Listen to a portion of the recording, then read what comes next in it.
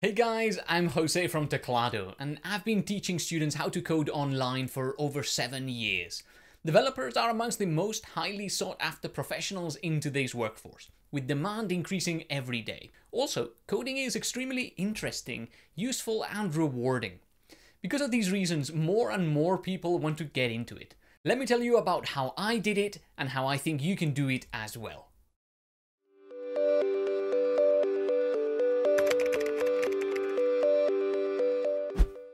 I was in a bit of a privileged position in that I started programming when I was just a kid. My dad was really the one who sparked my interest towards programming and the one who started teaching me. We didn't get very far together, I was young and coding ain't easy, but it was a start. The main benefit I got from starting early, even if I didn't really know anything, is that learning to code felt possible. It felt like something I could do if I put the time into learning about it. So a few years later, I stumbled upon a problem I wanted to solve that needed coding in order to be solved. I feel like the stars sort of aligned for me at that point, and I started learning to code properly in order to solve this automation problem. So what do I mean with, you know, the stars aligned? Back then it wasn't as easy to learn to code. I had tremendous luck in that I had a clear purpose for learning to code. I stumbled across a community of teachers and learners tackling similar problems, and in this community I found tutorials and resources to learn exactly what I needed to learn. I think these three points together really made it for me, and I think if you can find these things, it's going to make your learning journey that much easier and enjoyable. Let me tell you about each of these in detail. Learning to code can be super overwhelming, especially if you're a beginner.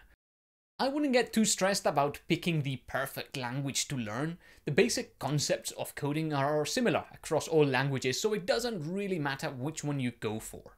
The most important thing is, why are you learning to code? Do you want to automate your job? Make websites? Make mobile apps? Make games?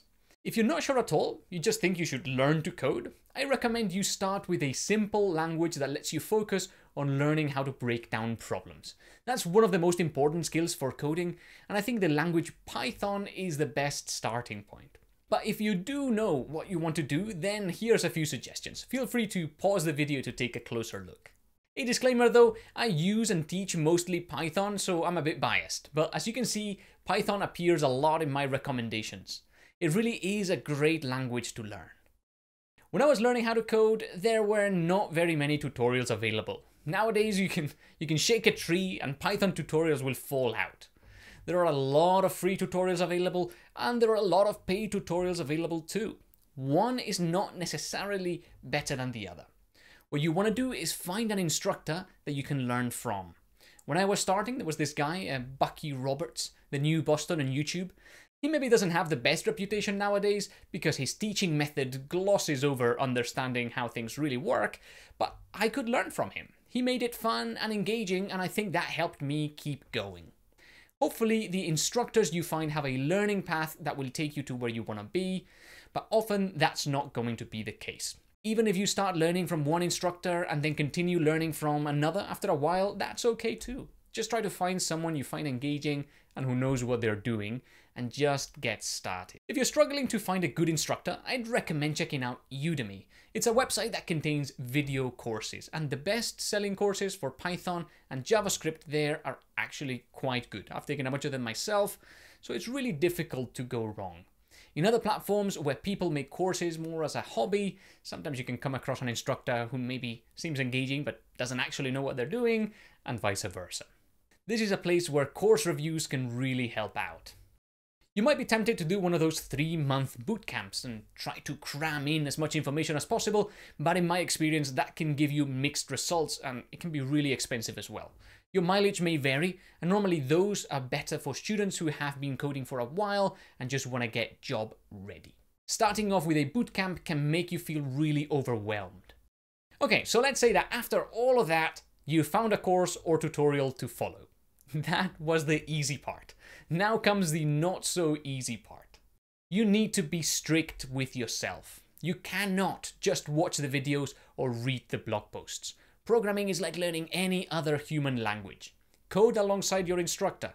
Practice. Fluency comes with constant use. And as you learn more, You'll come up with new project ideas that you can code. Make those projects and keep learning so that you can code the things that you want to code. I mentioned earlier on, when I was learning to code, something that really benefited me was to chat with other learners who were learning the same stuff. We taught each other and learned from each other and kept each other going. In our group, we had people with more experience as well as some with less experience. There are plenty of online communities for coders and students just like you. Joining a community and talking with people can find you collaboration and mentorship opportunities, as well as just help you keep going and keep learning.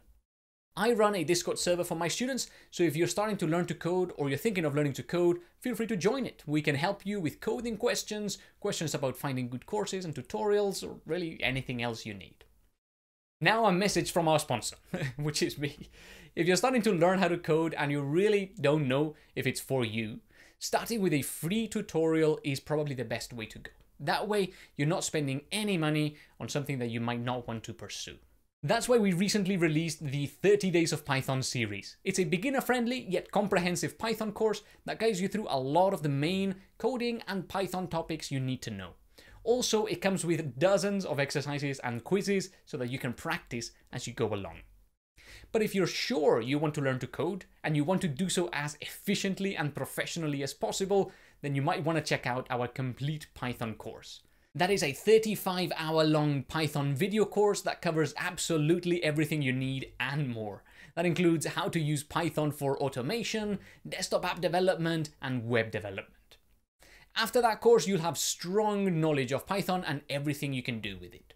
For the free 30 day course, go to python30.com. And for the complete Python course, check it out on Udemy. It's all linked in the description anyway. Alright, that's everything from me for this video. Thank you so much for watching. Don't forget to like and subscribe and go and get started with your coding journey. I'll catch you in the next one.